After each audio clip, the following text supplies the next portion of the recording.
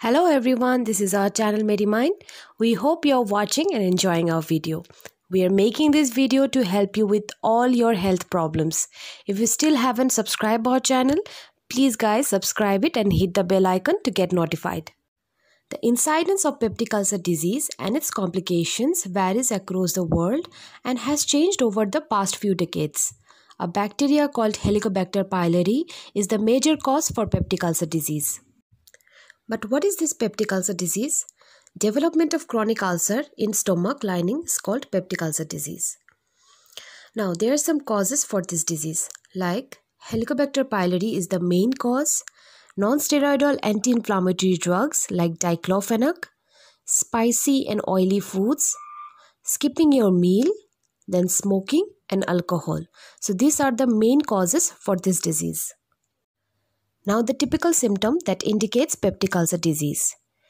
Pain on the abdomen of upper side, usually in the empty stomach or after taking meal, is the main symptom of peptic ulcer disease. Management of this disease is very important as it may lead to stomach cancer. Now what is the management of peptic ulcer disease? 7 to 14 days of triple therapy is the main treatment for Helicobacter pylori eradication, which causes peptic ulcer. Now the major part of this video.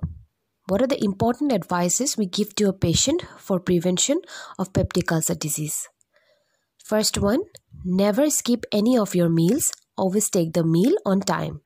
Eat your breakfast within 8 to 9 a.m. Eat lunch within 1 to 2 p.m. and take your dinner within 8 to 8:30 p.m. at night. And always have some snacks in between two meals. Then drink plenty of water at least 1 liter per day. Eat lots of vegetables, especially green leafy one. Don't lay on the bed immediately after taking meal and walk for at least 5 to 7 minutes before going to bed. Avoid excess oil and deep fried foods. And the last one, never ever take medicine without doctor's permission.